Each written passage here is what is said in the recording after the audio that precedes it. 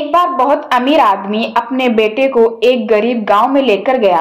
ये दिखाने के लिए कि देखो कि हम कितने खुशकिस्मत हैं, हम कितने अमीर हैं।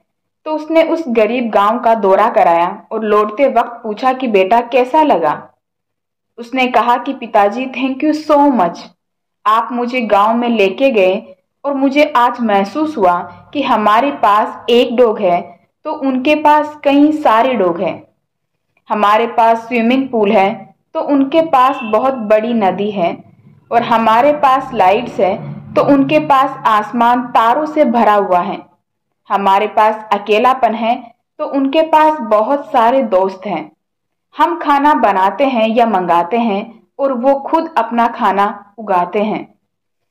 थैंक यू सो मच पापा, कि आज हमें पता लगा कि हम कितने गरीब हैं, कि आपने मुझे ये एहसास कराया कि उनमें और हम क्या है? इसीलिए ये दिखाने के लिए कि गरीब कौन है।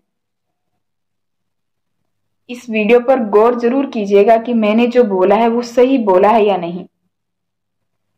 गाँव की ज़िंदगी बहुत मस्त वाली ज़िंदगी होती है, वहाँ सब कुछ है।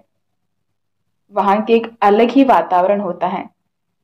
खुली हवाएँ, एकदम मस्त खेलना, कूदना, खाना, पीना इंजॉय करना। बड़ों के साथ टाइम स्पेंड करना, वहाँ की जो ज़िंदगी है ना, वो हमें सिटी में नहीं मिलती। लेकिन आज के ज़माने के लोग गाँव में जाने से कतराते हैं।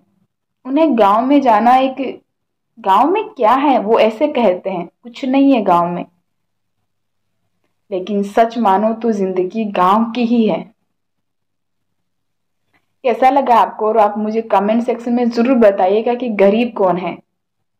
मेरे YouTube चैनल पर अगर आप नए हो तो प्लीज़ मेरे चैनल को सब्सक्राइब कीजिएगा और मेरे वीडियोज़ को शेयर कीजिएगा अपनी फैमिली और फ्रेंड्स के साथ। धन्यवाद। मैं फिर से मिलूँगी आपको अपने नए वीडियो नए मोटिवेशन के साथ।